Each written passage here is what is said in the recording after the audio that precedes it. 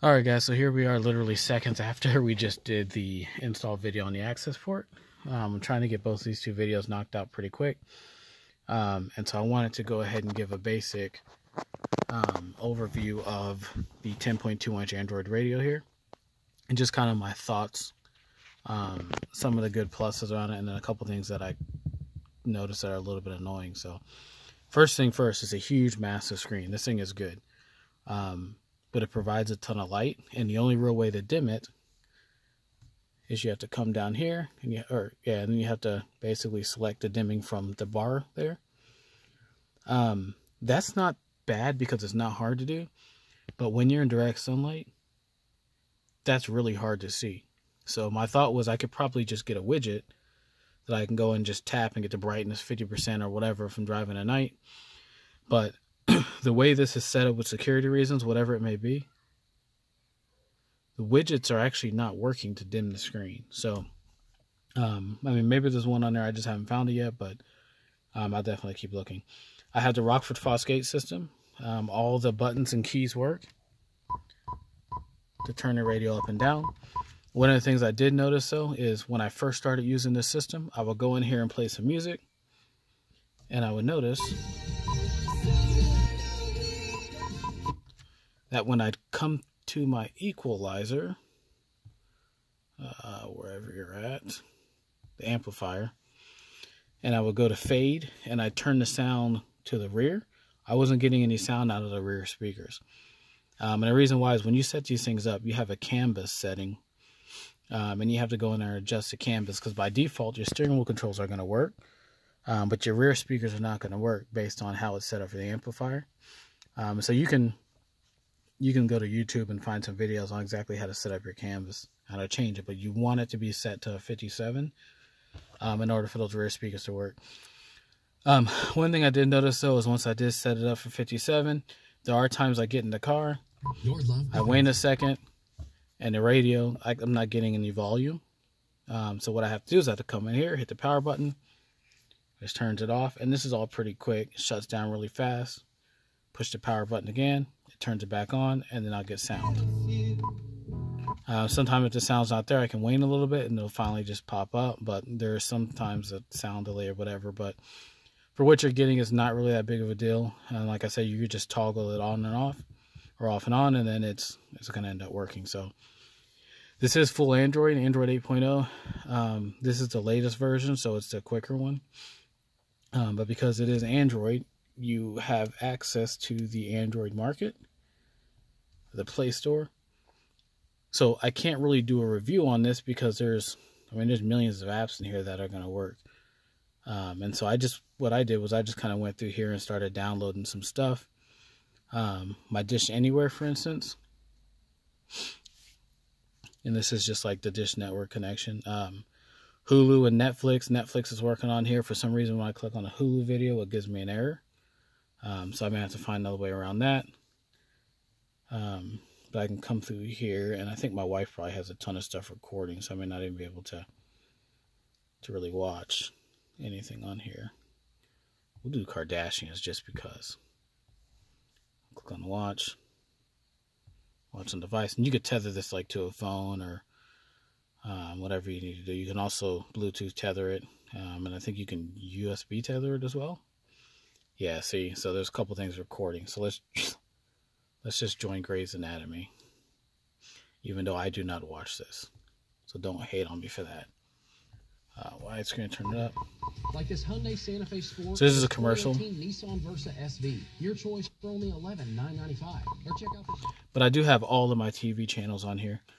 Um, the radio looks good because it's such a big screen. You have all these different presets here that you can do. Um, you have navigation. I have Spotify directly on the radio, so I don't have to go Bluetooth because anytime you Bluetooth, you're losing a little bit of quality. Um, wagon wheel for you.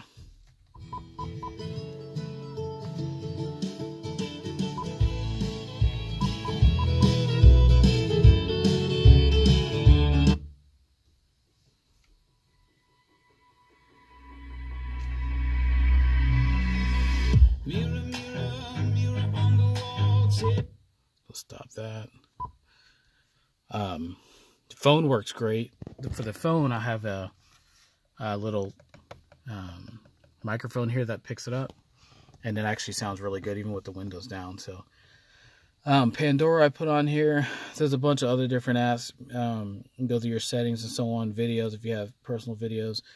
Bluetooth, like I said, is Android, so all these are widgets you can customize. I just haven't really placed them anywhere I wanted to yet. Um, the navigation itself, let's go into this map app so you can see what it looks like. It's really good, and there's a lot of different settings. By default, the settings are turned off, um, but you could do things like turn on traffic and so on with it. And the radio is pretty quick, so um, the, about the slowest thing about this radio is loading the maps, but once it gets loaded up, I mean, it's flawless. So, and you do not need internet access to uh, to use the map on this system, which is good. Um, but then you do have an option if you do want to use internet access, you can use your Google Maps as well um, and see all that. So there's an antenna that comes through here and supposedly come up on the top somewhere. Um, but I just have it thrown in the glove box and it's working perfectly. Um, I'm going to end up mounting it soon. I want to mount it in a top in the corner um, or one of these two corners, but I am in Oklahoma. Like I said, it gets really hot here and I don't want it to melt because these little things are pretty cheap plastic. Uh, we'll back out of that. Things like the car launcher, so it gives like a nice little display for your stuff and you program what you want on there. All your internet browser stuff works. Um, to watch videos as you're driving, you do have to go to your settings to turn them on, and that's for any kind of video app. So if it's like um, Netflix or YouTube or whatever, to come in here to your settings, you go to car, and then you'll go to I think it's extra settings. No, driving settings. Driving settings. There you go. Watch videos. You'll have to make sure that you select that to be on. I'm not encouraging it because it's dangerous. Um, another thing in here, elements. So let's say you do like a custom light kit. The default light kit for this is about an orange color, which I have here. You can see that it's lit up here, but you can also go in here and change all of these to whatever colors that you want. Um, so that's pretty good. you can view all your pictures that you have on here. Um, like I said, all your Google search, Gmail, and so on. One thing I will suggest is if you start adding things like Gmail and Facebook, just turn off your notifications because as soon as you get in your car, like I keep it tethered, you're going to start getting notifications all the time, and it's just kind of annoying seeing them pop up. Um, there's my Google Maps. YouTube works great. Um, so let's see here. Just click on a video here real quick. We think car insurance needs a revolution. Root is a new type of car insurance that looks deeper than other insurers, but we all like advertisements. Hey YouTube, what's up everybody? Yeah, YouTube works great because it's Android. You also get the, when you close it out, you can move the little window over if you want. Um, or you can just close that out. Uh, the Torque app is good because this is where you can get all your different gauges.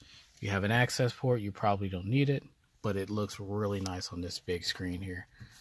Um, so underneath real-time information, and you can of course sort and add and move these gauges however you want them to be. Um, these things are really accurate um, when it comes to reading things like acceleration, boost, and so on if you try to measure like horsepower, none of that's going to be accurate. So don't even try it. But fault codes, you can see whatever the fault code is. So your check engine lights that come up. Um, but then you can also view it directly on the internet on the device without having to go out and look for it or whatever.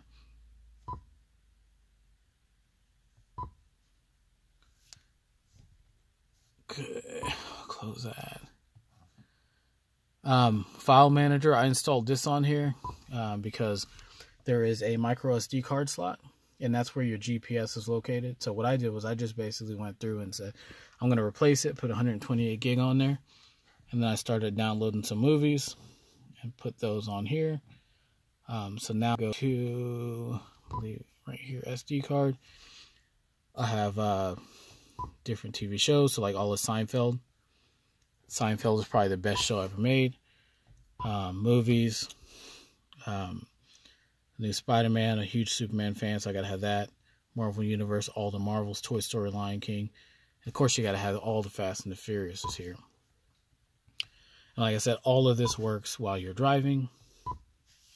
You put any movie that you want. It's an Android player. It's going to play any format. There we go. The sub's too close. We're making it to the gate in time. We're just gonna let her get away. Not if I know Dom. So I went to a car meet the other day and was blasting the Fast and the Furious. I had people just standing around the car watching it. It's kind of cool. Uh, YouTube for kids. So I have um, three kids. The kids go, they sit in the back and they basically fight over the middle seat. So I'm probably going to have to do like some headrest seat or um, some headrest monitors because they will plug directly into this with um, audio video out. This will actually produce the signal out. Pokemon Go is on here um, because I I don't know I play it whatever I don't even care. But it, for some reason, it's not working in the car. There's always been like an issue with Pokemon Go working on tablets. I just don't care enough to really research why, because I don't really care to drive and play Pokemon Go the entire time I'm driving. So um, we'll just move out of that. Yeah. I mean, outside of that, I mean, this thing is this thing is really good. You can install pretty much any application that you want on there. You can run it. You can sit there and watch YouTube videos about things that you're doing to your car. So if you need advice, whether the whole internet's on there, GPS works flawlessly, um, Bluetooth, um, when you're tethering it to get the internet, all that stuff works. This is an excellent investment, um, and I think this one was about like $450 on eBay, but you can always find deals as well to make it a little bit cheaper. Um, you just want to make sure that you get the correct one for your car. This one being a 2014 and 15 with Rockford Fosgate. And I think there's a 2008 to 13 with Rockford Fosgate.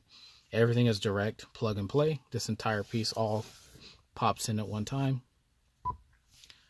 Um, I mean, it's super user friendly. The only thing I wish is that maybe it had like a manual controller where it's not just touch buttons here. Um, and then I wish that the volume and the or the volume up and down were switched because my thought is the left side should be volume down, the right side should be volume up. It's just not the way it is on here. Um, and then also Android, usually there's a task manager where it pops up the different things that you have open. I'm not seeing that on here. You just have your home and back button, and then that other button's replaced by power button. Um, and I have a little plastic piece here because I can't seem to find a screen protector that'll cover the dimension I need.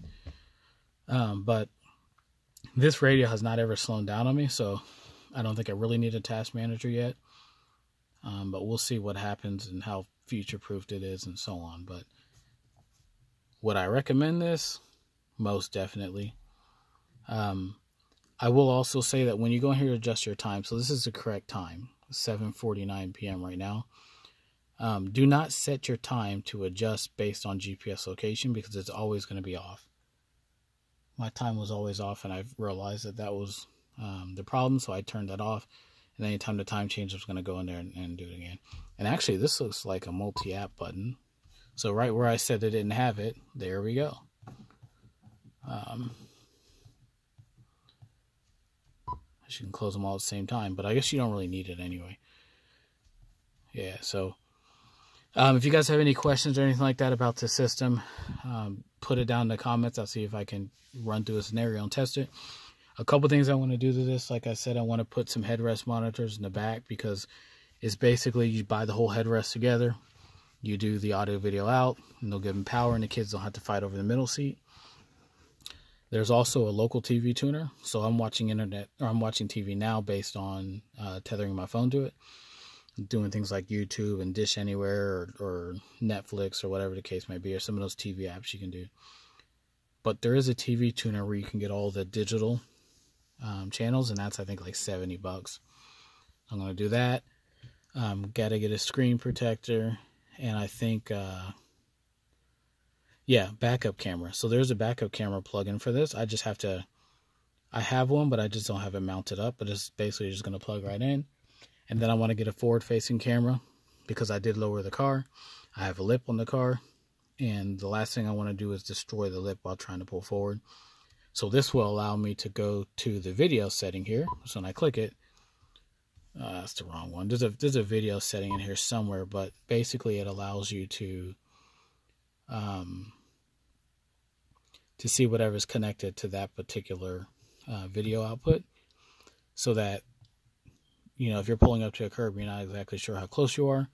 You have a camera on the front of your car, hidden underneath the grill. You can actually see how close you are and not tear up your lip. So forward facing camera, rear facing camera.